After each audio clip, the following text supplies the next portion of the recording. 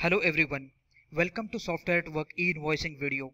In today's video, we will see how we can generate the e-invoice from the tally in which we have maintained the multi-GSTN data in a single tally. Those organizations who are using the multi-GSTN or multi-state in a single tally data, this video will be very much useful for them. As we all know, the 500 crore turnover companies has already been started with e-invoicing and the 100 crore companies are getting mandatory to generate e-invoice from 1st January 2021. So if you are 100 or 500 crore turnover company and you are using the multi-GSTN or multi-state solution in a single tally data, then let's learn how we can generate the invoicing from that solution. Before starting the actual demo, let us understand few features of multi-GSTN solution. With this multi-GSTN solution, we'll be getting all GSTN state-wise all entries in a single tally data. So at the time of generation of invoice, we will be getting the separate generation of invoicing state-wise in a single tally. So it will be very much useful to have the control of different state in a single tally. If we are using the multi-GSTN solution, it will be configured very easily and can be reported in very easy form. We will also be having the authorization security so if we are working from the different state so other state won't be having the access of the another state and as well as we see the reporting of getting total pan wise report as well as GSTR1 and GSTR2 reports where we will be getting the information related to sales and purchase. Now let us understand how we can generate the e-invoicing if we are using the multi-GSTN customized solution. So this is my tally data where I have added my multi-GSTN customized solution. Now let's understand how we can book the multiple state entries in a single tally data as well as how we can generate the invoicing for multi-state in a single tally.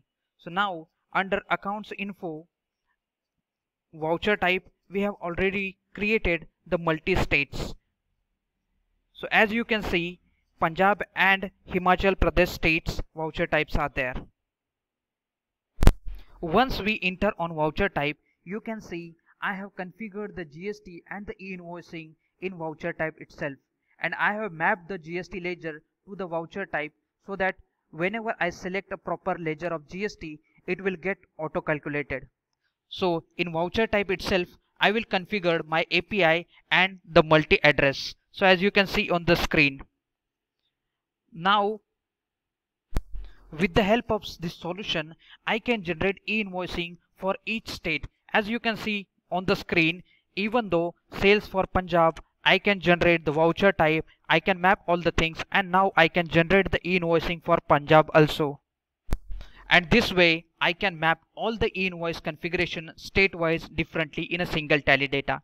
Now let's understand how we can pass the sales entry and how we can generate the invoice for different state. As you can see on the screen, I have already passed one entry under HP sales. If you want to set want to change the ledger or want to change the voucher type you can change the voucher type. If you are doing sales from the Punjab you can select the Punjab sales. Now I am selling the goods from the Himachal Pradesh so I will select the HP sales voucher type. Under that I have one party which I have configured. This is the Maharashtra party as you can see.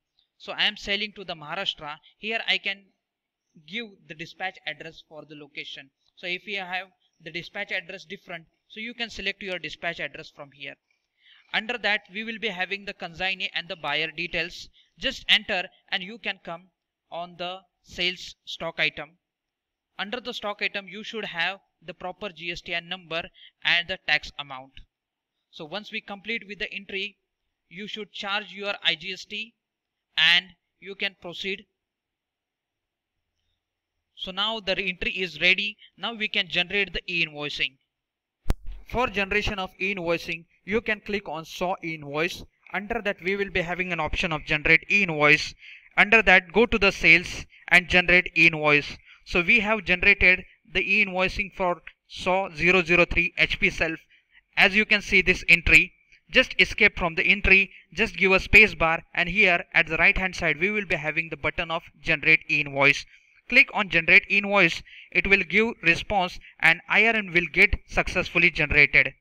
the e-invoicing for this entry has done and you can now check your IRN number and other details in e-invoicing response detail. So as you can see the IRN number, acknowledgement number and sign and QR code in encrypted form. Even though if you print the invoice, you'll be getting all the information.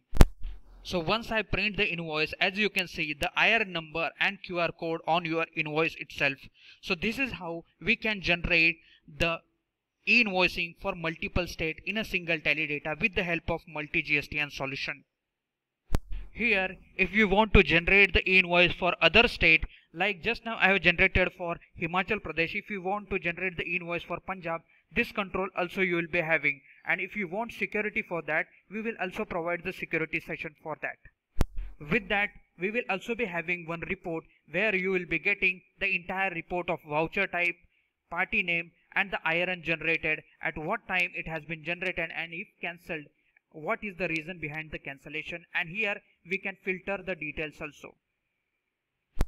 So this is how we can generate the e-invoicing for multi-state in tally.erp9 as well as in a tally prime. If you have any query or if you want to see the detailed demo, you can contact us on given, uh, given below number and you can mail us. Thank you so much.